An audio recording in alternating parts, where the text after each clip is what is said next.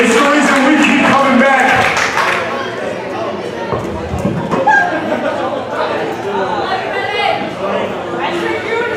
That's enough of that sentimental crap.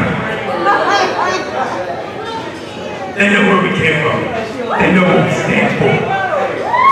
But I'm gonna make myself